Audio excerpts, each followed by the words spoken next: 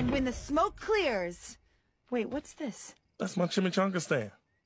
Um, no, Cookie. We won't be needing that. Trust me, Fiona, y'all are gonna be really hungry after this ambush, okay?